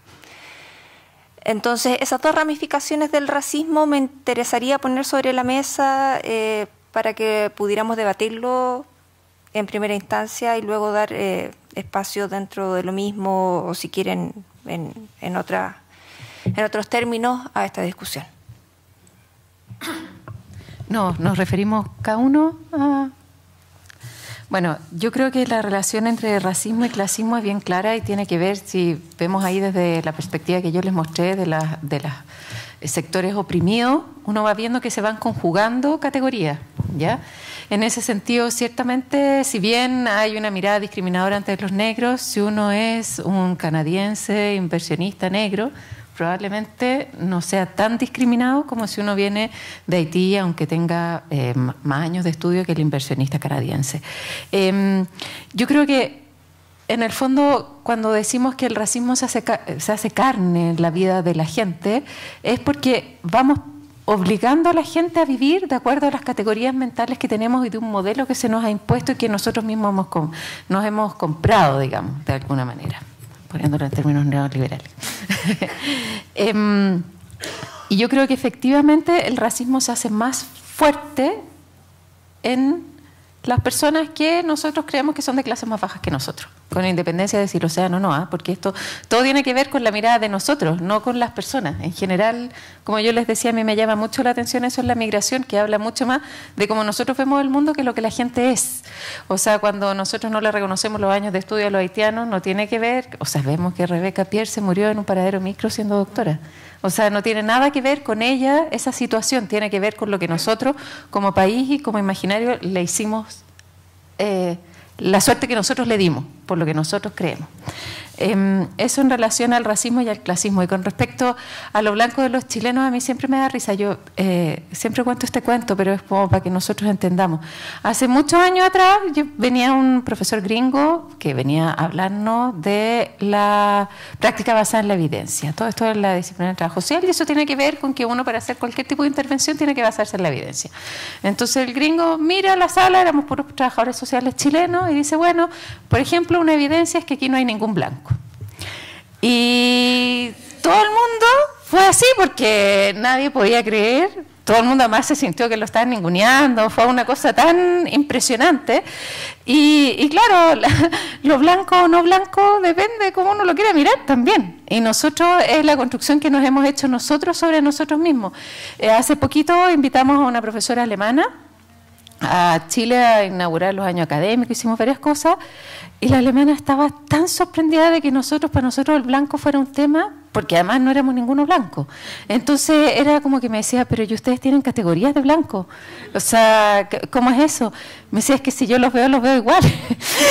y yo le decía, claro, es imposible que tú con tus lentes de alemana distingas nuestra variedad supuesta de blancos. Y ahí yo me acordaba cuando, eh, no sé, El País de las Sombras Largas, ese libro, ¿se acuerdan que los esquimales veían no sé cuántos blancos y nosotros vemos uno o dos a lo mucho? Claro, tiene que ver con esas, con esas distinciones. Y yo creo que son distinciones que nosotros hemos creado eh, en este sentido como chileno, digo, en este en este imaginario que tenemos para afirmarnos y autofirmarnos y diferenciarnos. Pero ninguna de ellas es, verdad, digamos. Ninguna de ellas es así. Son puras construcciones de dominación y la única forma de dominar es simplemente anular a los otros. Ah, ¿el mismo orden? Ok. Eh, yo quisiera tomar la, la, pregunta sobre clasismo, pero en realidad ponerlo en términos de análisis de clase, mejor. Es más como en lo que yo trabajo. Eh, y volviendo también al, caso de Suecia, yo creo que igual hay que acá hacer un análisis eh, político que nos lleve a pensar y a entender cómo en rigor muchas clases capitalistas nacionales en el fondo apoyan los movimientos masivos migratorios en la medida en que les permita hacer lo que yo determino como su lucha de clase en el mercado del trabajo. Por ejemplo, en Suecia los conglomerados empresariales están por traer más migrantes. Y lo que genera, básicamente, como parte también del análisis de clase, entender cómo las clases obreras nacionales, y acá viene todo un gran tema que lo podemos llevar incluso hasta Marx, si queremos como hacer un análisis teórico de largo aliento, eh, cómo muchas clases obreras eh, en rigor han tenido actitudes ambivalentes frente al tema de la migración, desde movimientos de solidaridad hasta lo que se ve hoy en día con los ejemplos que yo señalaba, una visión compleja en términos de cambiar el discurso hacia sectores más cercanos a los movimientos de extrema derecha porque pierden eh, electores de la base eh, de clase obrera que históricamente le han dado voto. Pero creo que acá hay que entender, en mi caso por lo menos de estudio, la dinámica de lo que se conoce como estado de bienestar. Porque eh, si uno entiende que efectivamente durante los últimos procesos de crisis sistémica del capitalismo global, efectivamente los estados de bienestar en Europa eh, han colapsado, se han desmontado, se han neoliberalizado las prácticas de política pública. Y el caso sueco sigue siendo importante porque es uno de los estados de bienestar que con lo que queda sigue siendo uno de los más robustos y que genera lo que uno diría desde la perspectiva chilena bienestar. Cuando la gente allá me dice queda re poco del estado de bienestar, yo digo, pero comparado con Chile, lo que hay es realmente eh, mucho beneficio. Aún así, eh, producto de eh, estas crisis sistémicas y de las crisis de acumulación capitalista, obviamente el estado de bienestar sueco está siendo desmontado paulatinamente y eso genera lo que yo señalaba antes, esta dinámica política en la cual movimientos anti-inmigrantes toman la bandera nuevamente del estado de bienestar para la clase obrera sueca. Tan simple como eso. Eh, en términos políticos, tan simple como un discurso que penetra en, términos de tratar de hacer sentir nuevamente a, una clase obrera que puede luchar por un estado de bienestar. Y también hay estudios que muestran que la última crisis económica también tuvo un alto impacto en el elector que vota por este partido de extrema derecha. Ahora bien, también hay estudios que muestran que hay muchos sectores ilustrados, si queremos usar la, palabra, o bien educados, tanto en Suecia como también en Estados Unidos, de hecho, que son sectores que votan por partidos de extrema derecha básicamente por una cuestión nacionalista, una cuestión de defender lo que se entiende como eh, eh, la cultura sueca, o en el caso de Suecia como eh, ejemplo. Entonces, en ese sentido, yo creo que si uno lo lleva al caso chileno, obviamente se necesita, creo yo, en mi modesta opinión, mucho más análisis empírico de cómo eh, la cuestión de la lucha de clase está generando hoy en día, y acá yo quiero derechamente decir que si me preguntaran a mí, obviamente con la eh, emergencia de figuras prominentes dentro de la extrema derecha chilena, uno puede ver patrones similares a lo que por lo menos yo he visto en Suecia. Este discurso simple, este discurso orientado a la población más vulnerable como efecto de la precarización, de la falta eh, de, bueno, eh, estado de bienestar, si lo queremos llevar a esos términos, em, que efectivamente hace un juego que ahí sí tal vez podría ser clasista, pero que también por otro lado está eh, totalmente enraizado en la forma de, generar racismo que nos señalaba antes, que nos señalabas tú antes. Entonces creo que hay que avanzar mucho más. Respuesta definitiva no podría tener al respecto. Sí, muy breve para que podamos conversar. Em, lo que pones encima de la mesa es, muy largo discutir. Ah, efectivamente, yo coincido también que la cuestión del análisis de clase tiene que ser hecho de una manera como muy responsable, pero eh, me parece que sí eh, se puede hacer un, cruce eh, entre raza, entre comillas, y clase a partir de la nación, porque si no es muy difícil plantearlo. O sea, es la nación, en este caso la nación chilena, como te o la nación sueca, es a partir de lo que la nación construyó. Y lo que la nación construye no es solamente, no es solamente un ideal, es un sentimiento, son emociones, pero están todas basadas en una articulación capitalista del carajo. Y efectivamente, en ese sentido, eh, blanco o negro no es solo un color, es mucho más que un color. E, es una suerte de pararse en el mundo, de tener una posibilidad en el mundo para estar arrimado a ese marcador blanco que obviamente no es cualquier blanco, es un hombre, es europeo, es dominante, es quien tiene el gran poder de las cosas. Entonces, en eso nosotros somos colonizados, Chile, los chilenos somos colonizados, no somos colonizadores. Pero sin embargo queremos pensar o queremos sentir con eh, el, lugar o desde el lugar del colonizador. Y ahí estamos sonados, porque no lo somos. Tenemos que salir un poquito a encontrarnos con un gringo, como dices tú, ¿no?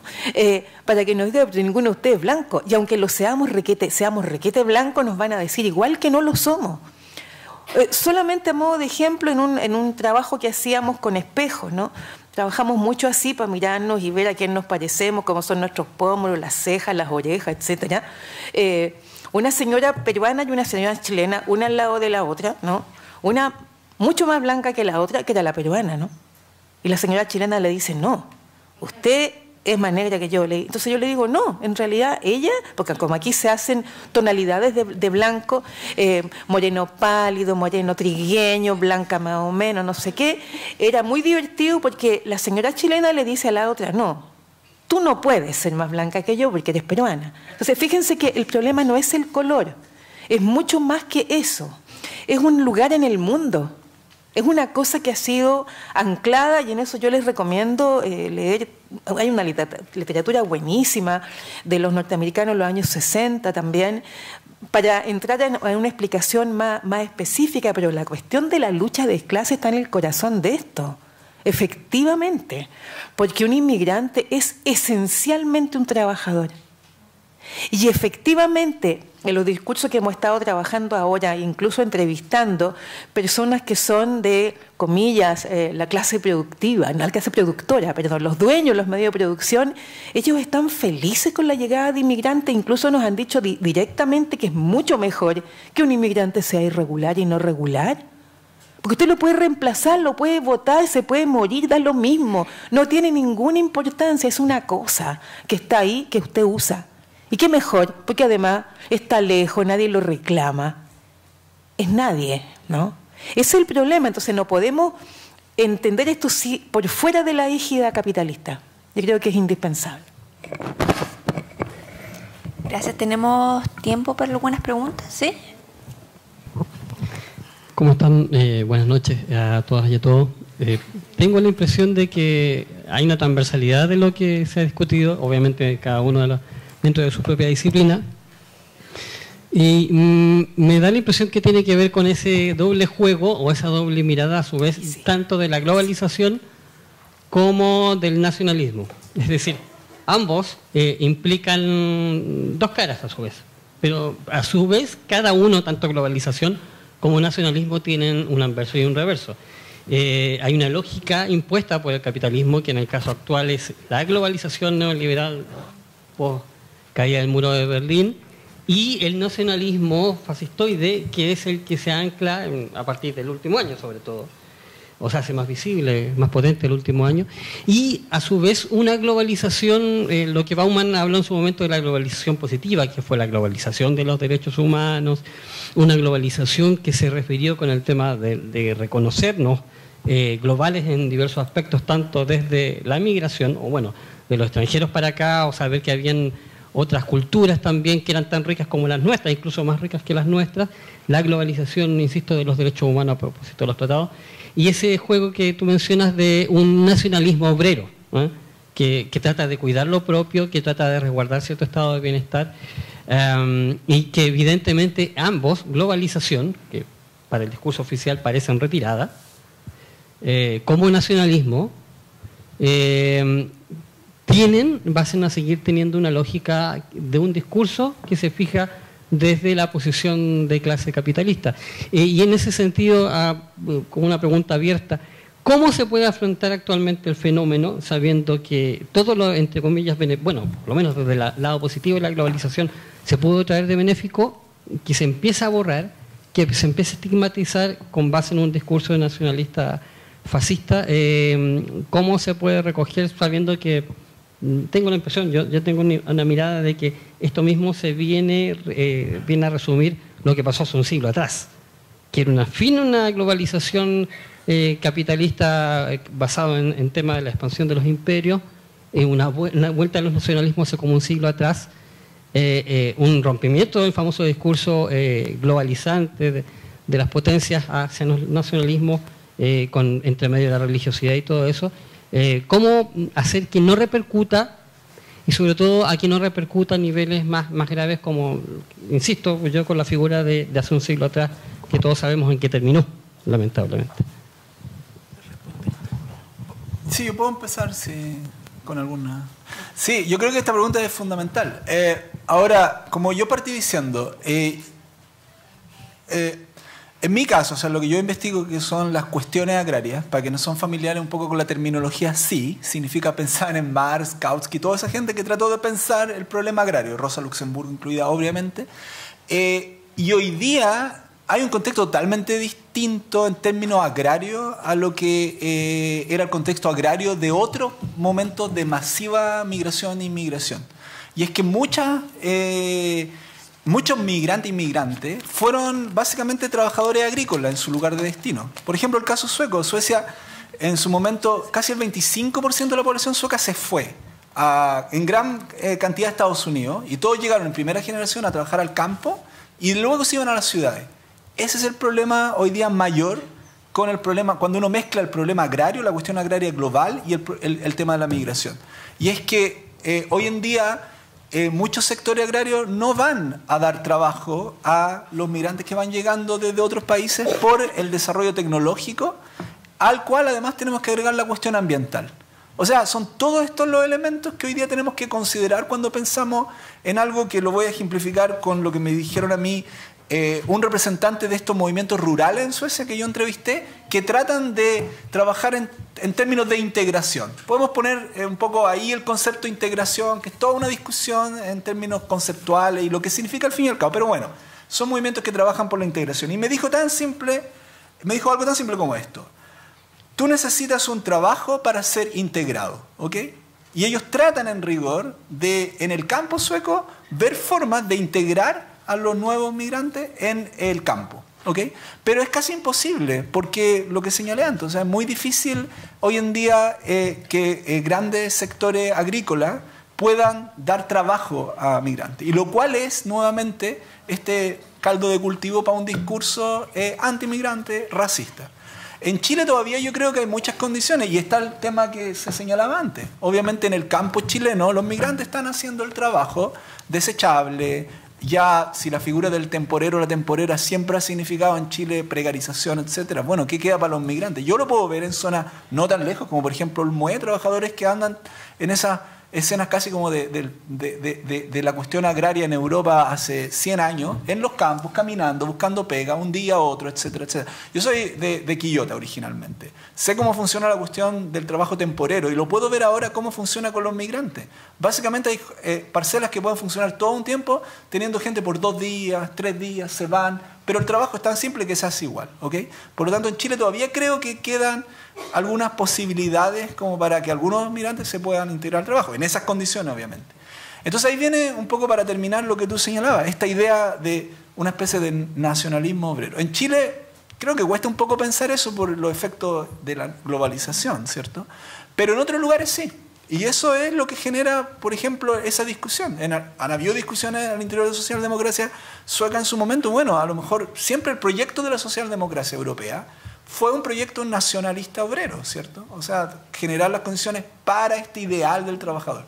De hecho, hay una entrevista que yo hice donde estos mismos activistas que trabajan con súper buena voluntad y buenas intenciones, pero se refería a los migrantes como los nuevos suecos que llegan a Suecia, un poco como diciendo, eh, los queremos integrar tan rápido como sea posible, les llamamos los nuevos suecos y tratan de darle trabajo.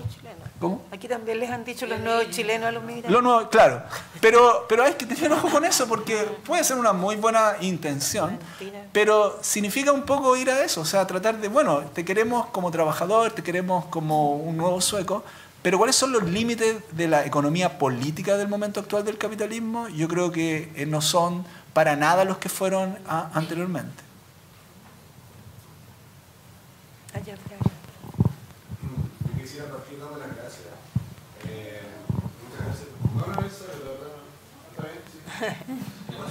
se le escucha muy se bien. Escucha. Sí. Eh, porque quizá hoy día tenemos como un problema de identidad lo que es todo esto, ¿no?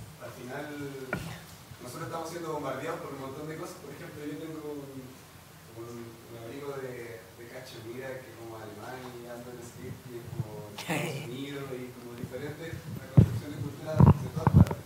El tema es como realmente las personas chilenas nos sentimos con una identidad tenemos una identidad, eh, no sé, apuntamos a algún lugar realmente, o vamos a seguir como igual en la misma, como igual analizando y analizando siempre como los puntos como de la misma hegemonía, del mismo lugar, de ese mismo lugarcito todo el tiempo girando ahí, girando y girando en torno a lo mismo.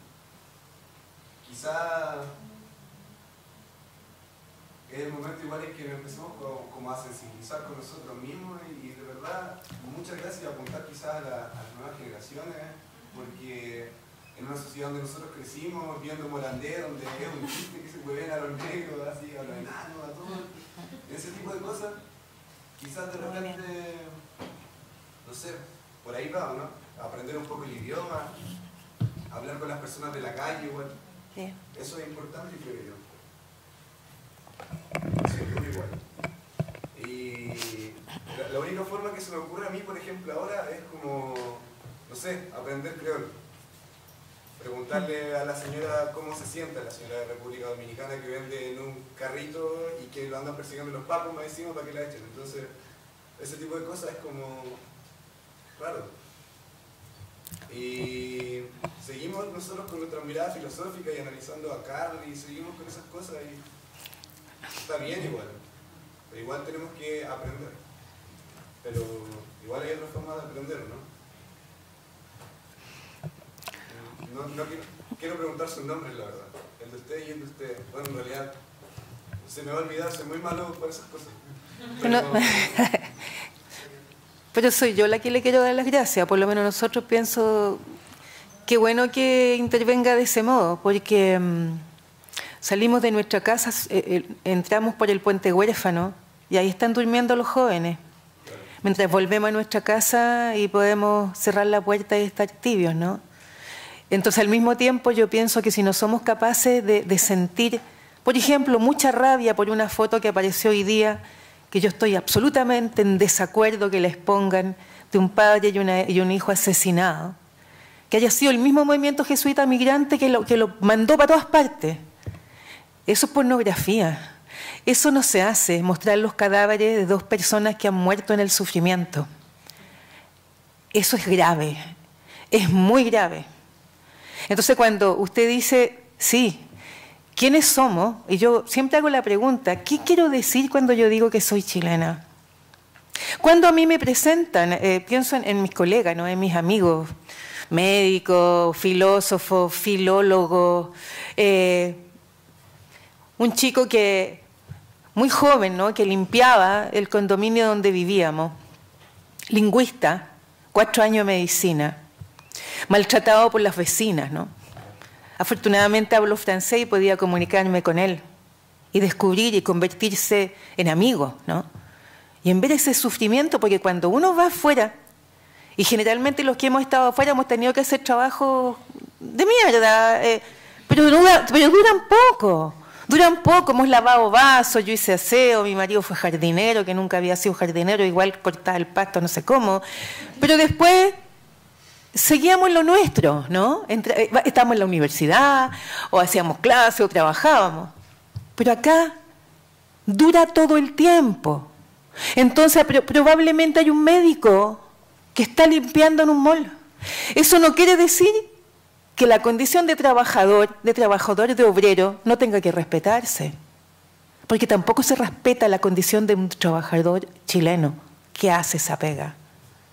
El arribismo es brutal en este país. Y es tan necesario tener que demostrarse y decir, yo como chilena o yo como chileno. Pero en otras partes nadie pesca cuando decimos eso, porque la gente alguna pregunta, ¿ya dónde está? Chile. ¿Ha pasado? Porque así como tenemos ignorancia, nosotros hay ignorancia en el mundo entero. Entonces, en ese sentido, yo creo que una intervención como la suya yo la encuentro súper interesante. Y efectivamente los niños de ahora están jugando con los otros niños, están todos juntos abrazándose con los mocos y todo en los jardines y se abrazan y están todos juntos. Pues este país va a tener otro color en unos años más. Vamos a estar comiendo otras cosas, por suerte, ¿no? Gracias. Yo, yo quisiera hacer también una... Bueno, yo a tu pregunta, antes que te vayas, soy Claudia. Eh, Eh, eh, y yo también eh, esa, esa pregunta sobre la identidad chilena, a mí siempre me, mi inquietud es por qué debería haber una, en el fondo, por qué deberíamos buscar una hegemonía de una identidad chilena. Y con respecto a la globalización de lo que decía usted, yo tengo una, tengo una mirada bastante sospechosa de la globalización. No nos olvidemos que la globalización lo que ha permitido es la concentración del capital, sobre todo en algunas empresas que hoy día dominan más que los Estados-nación. Por lo tanto, cuando uno habla de la globalización solo en términos positivos, invisibiliza toda la estructura. Hoy día todo nuestro sistema económico globalizado es un sistema económico absolutamente injusto y desde muy mi particular visión, sin ser especialista en el tema, yo creo que el resurgimiento de los nacionalismos tiene que ver con un modelo que está agónico, ¿verdad? Que mata a más de la mitad de sus ciudadanos y que por lo tanto tiene que buscar un chivo expiatorio y algo para poder seguir manteniéndose y em, brindando todos sus frutos a un grupito bien chiquitito. Por lo tanto, yo creo que la invitación más bien cuando uno habla de todos estos temas es, a pensar en otras formas de vivir más allá de esta globalización, incluso nuestras democracias, eh, que se supone son democracias representativas. Yo me pregunto cuántos de nosotros se sienten representados con las cosas que decían nuestros políticos. Eh, uno pensaría más bien que necesitamos, pienso yo, de nuevo, una opinión personal, una democracia participativa, ¿verdad? O sea, uno uno pensaría que una sociedad como en la que uno quiere vivir es de otra manera. Y la idea de la globalización nos hace pensar como que ese fuera el único camino posible. Ese camino es un camino injusto, desigual y que solo favorece a unos poquitos. El racismo es parte de esa ideología que se instala. Entonces mi invitación sería más bien mirar con sospecha esos procesos y mirar qué es lo que efectivamente permitiría a los seres humanos encontrarnos y estar mejor. Porque yo creo que em, todas estas ideas de que las cosas son así, de que ganó no sé quién, ganó no sé cuántos, es mentira. Uno tiene que mirar y decir, como cuando yo les decía, bueno, lo que hacemos con la práctica antioprecía, oiga, pero mire, mire sus condiciones de vida. Usted está bien porque debe en 200 cuotas, eh, no sé qué cosa, eso está bien, usted está integrado porque tiene más, es sujeto de crédito. Eh, ¿Eso es estar bien? ¿De verdad? Es, que, es, bien loco lo que los seres humanos hoy día consideramos que es estar bien o que entonces yo diría más bien la invitación es a pensar otro orden más que a pensar en seguir manteniendo un orden y cómo mejorarlo. Mi invitación sería esa. ¿Algún, ¿Tenemos tiempo para una pregunta más? Allá atrás. Hola, buenas noches. Mi nombre es Cristian. Eh, respecto a lo que hablaba Cristian sobre el- la atención de los distintos usuarios migrantes, yo soy técnico en enfermería, trabajé en el Hospital Padre en la comuna de San Ramón. Y tanto en Suecia como en Chile también se está dando ese racismo dentro de los hospitales. Dentro de todo. El único, la única solución que dieron dentro de un hospital o dentro de la red salud fue tener un número eh, para que alguien traduzca creol, creol español, español, creol. Esa fue la única solución que se le dio a las personas que, que hablan creol dentro de una UCI, dentro de una urgencias. No se le ha dado más, pero también dentro de mis mismos colegas, también enfermeros, técnicos, kinesiólogos, también se trata de una forma racista a distintos migrantes, de distintas eh, personas. Eh, hemos tenido que atender muchos pacientes de muchos lados. También se estigmatiza mucho a los pacientes haitianos, principalmente por un tema de VIH. Se asimila prácticamente que todo paciente que llega desde Haití tiene VIH, tiene tuberculosis, tiene alguna enfermedad venérea. Y es real el racismo que se vive dentro de una institución hospitalaria que actualmente se atiende de una manera desmesurada a la gente que se está atendiendo en silla, en pasillo, sentada en cualquier lugar para poderla atender. Se sigue en paro el Hospital San José. O sea, eh, seguimos con una precarización de la salud pública y la única respuesta que se le da o la única opción que se le da es que culpa de los migrantes. Lamentablemente no es así desde hace muchos años las personas que estamos metidas en salud en el aspecto social. Dentro de todo quería ver cómo podemos intervenir a esas personas de salud que están actualmente en un ambiente cerrado que un hospital, que es muy distinto a la atención primaria, que sí tienen que interactuar diariamente con distintas personas. Y la otra pregunta, eh, más que nada, es cómo dentro de las mismas personas que vienen migrando se produce el racismo en- dentro del mismo país o dentro de los mismos personas eh, venezolanos discriminan a haitianos y haitianos a venezolanos y así se va dando. ¿Cómo poder solucionar o cómo ustedes lo ven de alguna manera eh, más allá? Porque muchas veces eh, hasta se ponen a pelear jugando un partido de básquetbol, que esto es Haití, que esto es Venezuela, que eh, no sé, realmente eh, una visión muy muy distinta a la, a la, a la que tiene una persona y otra. Sí.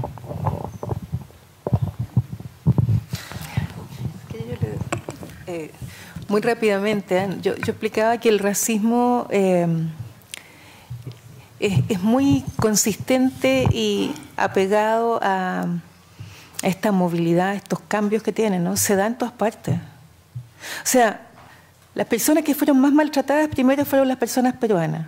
Ya están más instalados, les ha ido un poco mejor, pero ya están tratando mal a otros inmigrantes o a otros peruanos que llegan recién. Pasó lo mismo con los chilenos afuera. Exactamente lo mismo, porque no hay que olvidar, siempre hay que dar vuelta la mirada hacia uno. Somos más de un millón trescientos mil chilenos en el extranjero. Por una parte, eh, actores famosos, qué sé yo, pintores, concejales, alcaldes. Por el otro lado, vendiendo en carritos, de manera irregular o ilegal, como dicen algunos. Así está todo, todo el abanico de posibilidad. Y pasó exactamente lo mismo. Chilenos tratando mal a marroquí. Chilenos tratando mal a bolivianos, afuera. Y aquí ocurre lo mismo. Es ese fenómeno, mientras exista esa brutal desigualdad, algo decía la Claudia de eso, ¿no? Eh, no es algo que se va a terminar de un día para otro. Porque es necesario reflexionar, hablar, conversar de estas cosas, buscar los por qué. Y sobre los sistemas de salud, nosotros estamos un poco trabajando en eso. Yo no vengo del campo de la salud, pero estoy trabajando en ese campo ahora en una investigación. Yo creo que es uno de los sectores más sensibles donde hay que trabajar el racismo, porque está el contacto cuerpo a cuerpo, ¿no? Porque hay que tocar, hay que sanar, hay que curar, hay que examinar, eh, hay que también enfrentarse a los modos en que la gente que viene de otros países, eso sí lo hemos aprendido, consideran su cuerpo, ¿no? En donde un chino, por ejemplo, una china no le gusta desvestirse. Entonces hay serios problemas, seguramente usted lo sabe, ¿no?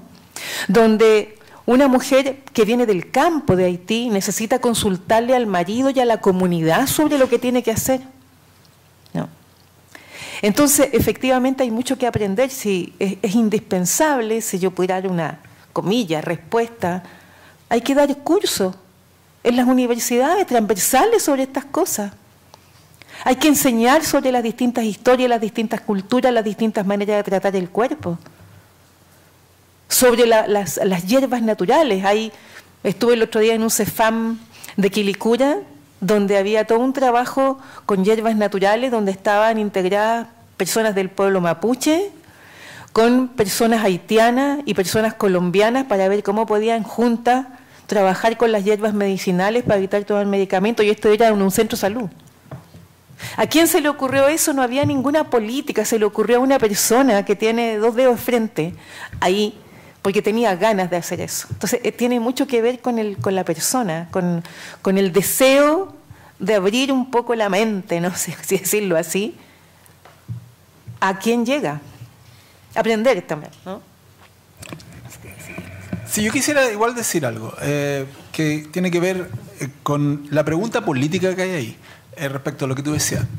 Si yo tuviera que opinar sobre cómo yo veía que la izquierda sueca de distinto tipo, más radical, menos radical, veía el tema de un problema similar, por ejemplo, a lo que tú me estás señalando, yo creo que para muchos eh, siempre eh, se transformó en un tema tabú. No, nosotros queremos que lleguen los inmigrantes, no podemos decir nada porque está la extrema derecha al lado diciendo que no quieren inmigrantes. Yo creo que ese es un gran problema.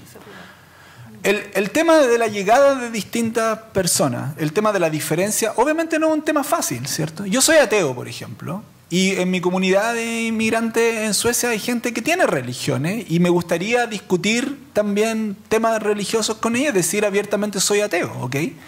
Eso no significa que esté convirtiéndome en un racista, para nada. La cuestión es cómo uno discute políticamente estas cosas. Por ejemplo, si tú me dices, bueno, en mi ambiente de trabajo tenemos este problema, sí, se tiene que discutir como un problema laboral, ¿por qué no? ¿Cierto? Porque no es lo mismo discutir un problema laboral del día a día que tiene que ver con el problema estructural de la salud que ser racista, en mi opinión. Entonces, yo creo que acá un problema sería eh, tratar de evadir los problemas que se generan cuando se empiezan a transformar dinámicas barriales, dinámicas eh, culturales, o como se le quiera llamar. Eh, si uno quiere realmente trabajar y oponerse al discurso racista estructural y políticamente articulado, obviamente tiene que reconocer que hay tensiones, que hay problemas, pero trabajarlos colectivamente en otra perspectiva. Eso es un poco lo, único que yo podría decir porque es tan de caso a caso que uno tiene que, tratar de entenderlo políticamente y no negar lo que para otros, si en tu contexto lo llamamos trabajadores, es un problema. Y ahí hay mucho que también que aprender de los errores de otra experiencia eh, de trabajo político en torno al tema. La negación, por ejemplo, de esto conlleva a aquellos que no lo niegan, lo transforman rápidamente, fácilmente, en una estrategia, como yo lo señalaba, populista de tipo racista y de tipo neofascista, fascista o nazista incluso. Entonces, yo creo que para, por ahí va también, también el tema. A ver, eh, no sé qué hacemos, María Emilia se tiene que ir y por otro lado me dicen que tienen una pregunta que no se puede dejar de hacer.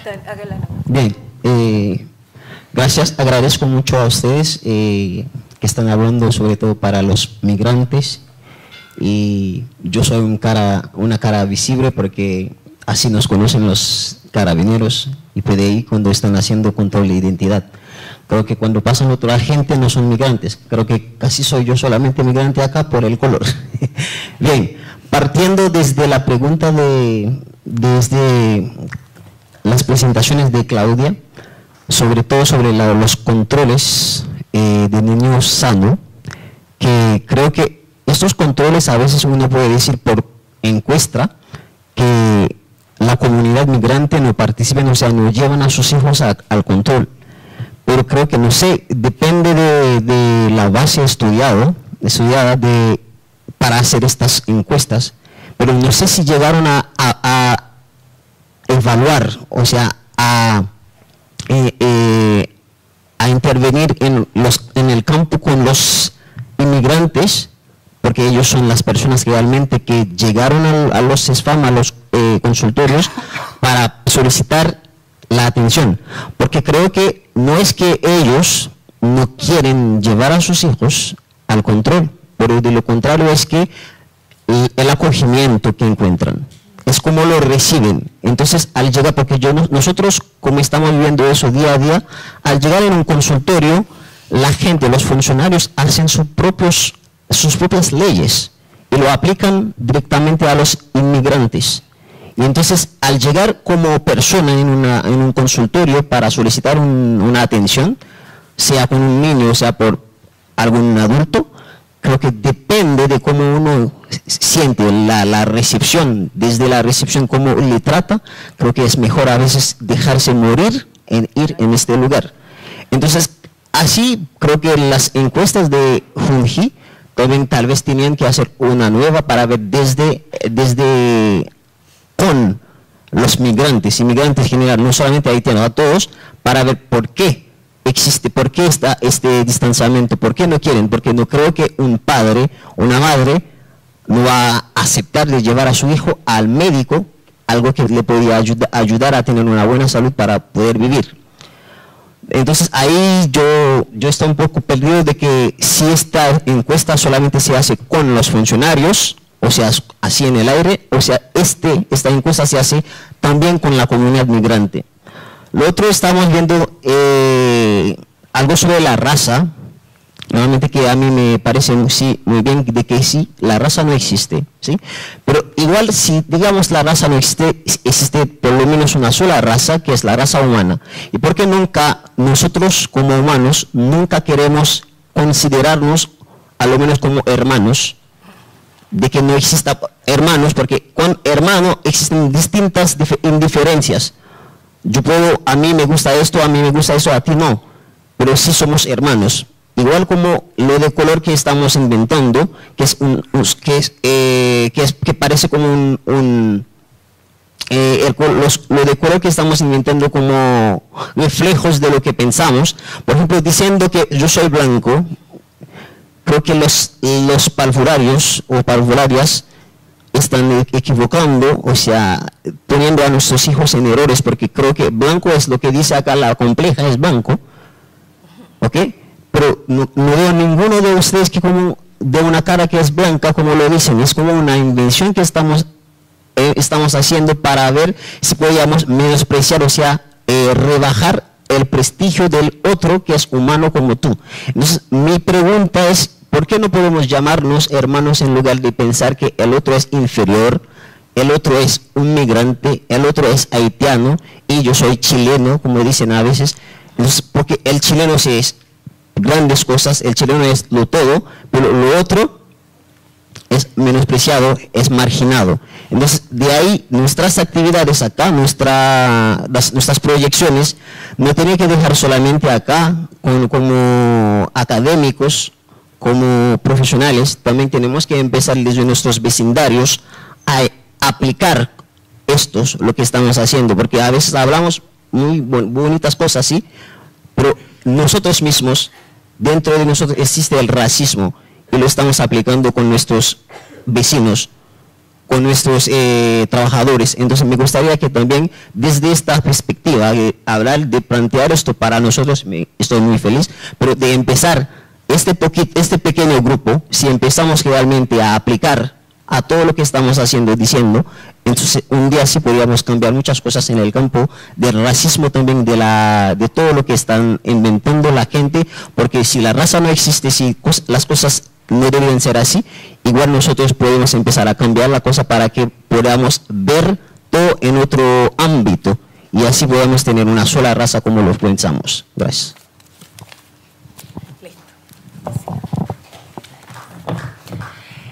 Bueno, eh, muchas gracias Claudia, muchas gracias María Emilia, Cristian, gracias a ustedes por su asistencia, por acompañarnos y buenas noches para todos. Gracias. Gracias.